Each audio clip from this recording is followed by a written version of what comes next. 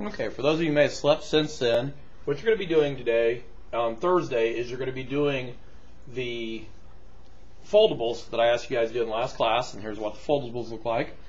Again, you're going to have it folded three ways. Okay, we'll talk about the folding part of it. What you're going to do is you're going to take a piece of paper and you're going to fold it over once. You're going to fold it over again to where you have three equal pieces. You're then going to unfold it. When you unfold it, on one end, you're going to cut where you have this flap and this flap and this flap. Then you're going to turn it over to this side. And at this point, now you're ready to start writing information. So, for your information, you scroll down here in Schoology, lesson 15, and you go to the one that says Rock Cycle Foldable Front, and you open that up. And for yours, you're probably going to have to turn it until it's upright. And as you can see, I've got this original one, and then I have the one that you have to do right here. On the top of it, you have igneous, sedimentary, and metamorphic rocks. I need a definition and I need example of each one of them. On the examples, those need to be a specific rock. Okay, so for igneous rock, example-wise, you would want, you would use a rock like granite, potash granite or sodium granite. You're going to do the same thing for the others. And then you scroll down to the other end, and that's going to be the front tab right here that's going to be folded up. Okay, definitions. Use definitions from the textbook, or if you can find one off the internet, that would also be acceptable. Then you're going to do the second part of this. In the second part, go back to the lesson. What you're going to do is you're going to open up Rock Cycle Foldable Back.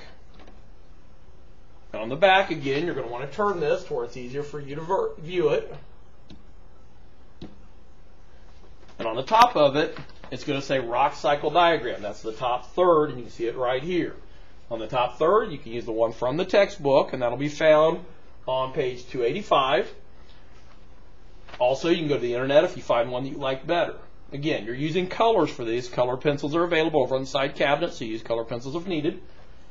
You go down to the middle, where the middle flap is, and again, you're going to write down igneous, sedimentary, and metamorphic ways formed. I want the specific way these have to form, such as with igneous, this has to form when magma cools and hardens to become a rock, or lava cools and hardens to become a rock. And then types. There are different types of igneous rock, and in the case of igneous rock, in your textbook, look under the section for igneous rocks. You have an igneous section, a sedimentary, and a metamorphic after page 285 from the textbook. Okay, so you're going to tell me actual types of them. Again, I gave the example for metamorphic in class and so that was foliated, non-foliated. Make sure you're using complete sentences on these. Then, down here, and this is probably the most important part of the lesson. On this part of it, you have an igneous rock column. Okay? You can see this right here with this flap for igneous rock in the column. Down here, what has to happen for an igneous rock to become sedimentary?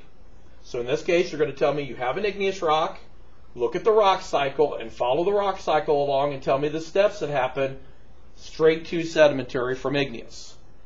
And then do the same thing for metamorphic. Then go to sedimentary.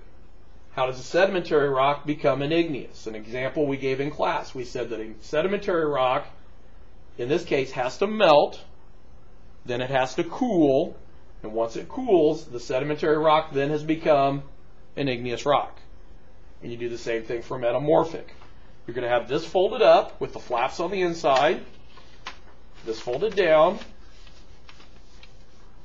and your teacher will have this copy available for you in case you need to see one of the paper versions of how to cut it and fold it. Again, the scissors in the back cabinet if you need them. The color pencils are on the side cabinet. This is your assignment for Thursday. And just in advanced knowledge, if you work hard during this class period and don't get done, you're going to have more time. But if I find that things didn't go well in class, then it's due when you come back to class on Monday. Okay. On your second activity, we're going to go back up here to the lesson. This is for Friday. On Friday, you're going to be completing the Rock Cycle web quest. So all you have to do is click on it, and it takes you directly to the web quest. On the web quest, you will receive a paper copy from your substitute. And on this, it says on the following, go to the following website, so all you have to do is control click on this website. It says begin types of rock, read over the descriptions of igneous, metamorphic, and sedimentary. Then scroll to the bottom and examine what to look for chart. Write down the six clues. So I'm going to show this one to you. You go to the website, and it says down here, begin with types of rocks. You click there, and you scroll down, and at the bottom of the page, what to look for. Here's a chart, the key six characteristics. Crystals, fossils. So you have these six. Those are going to be the answers for your first question.